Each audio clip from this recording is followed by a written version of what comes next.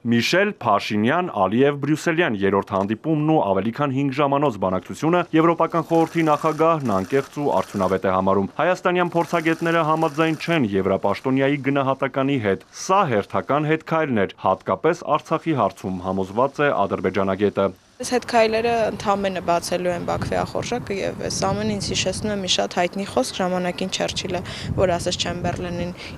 Մունխենյան այդ հայտնի պակտի մասին, որ եթե անպատվության ու պատերազմի մեջ ընտրում ես անպատվություն, ստանում ես եւ պատերազմ եւ անպատվություն։ Հիմա ես տեսնում եմ, որ մենք ցավոք այդ ճանապարհին ենք։ Արցախի հարց, սահմանային խնդիրներ, հաղորդակցությունների ապաշրջափակում, խաղաղության պայմանագիր, սոցիալ-տնտեսական զարգացում։ Հանդիպումից հետո Միշելը որոշ մանրամասներ է ներկայացրել։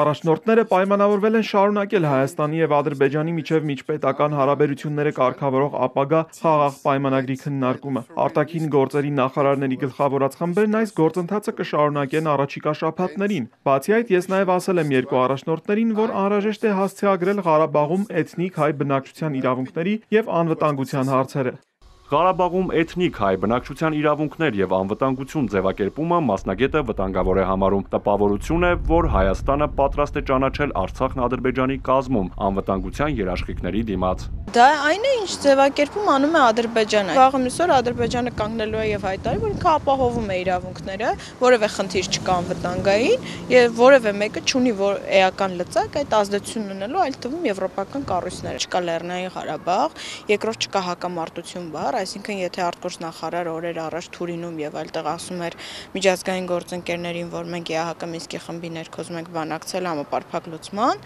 շուրջ ապա անհասկանալի է ինձ համար ինձ ձևակերպում է ինչ գործ ունի Բրյուսելը այդ առումով,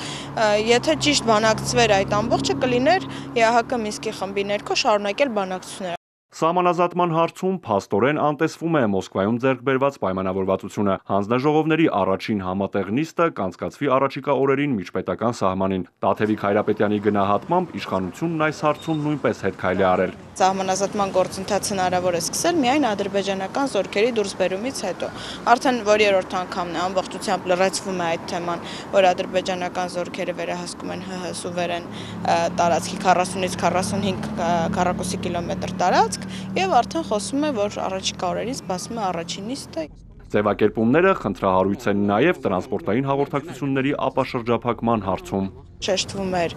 որ պայմանավորվել են մաքսատուրքերի, արևմտյան Ադրբեջանի տարածքների Նախճեվանի հետ կապի, ինչպես նաև մի տարօրինակ հայտարարություն կար Հայաստանի տարբեր հատվածների միջև Ադրբեջանի տարածքով կապի մասին։ Սա մի քիչ երկակի ենթադրությունների տեղիք է տալիս։ Ես ենթադրում եմ խոսքը այն ավտոճանապարհի մասին է, որը բանավոր համաձայնությամբ տրվեց Ադրբեջանին, դա իմ ենթադրությունն է։ Խաղաղության պայմանագրի դեպքում Եվրամիության պատրաստակամությունը սոցիալ-տնտեսական զարգացման աջակցություն տրամադրելուն ունի մեկ նպատակ՝ նվազեցնել Ռուսաստանի դերակատարումը տարածաշրջանում։ Արթուր Հակոբյան, Սիմիկ Մայլյան, Էպիկենտրոն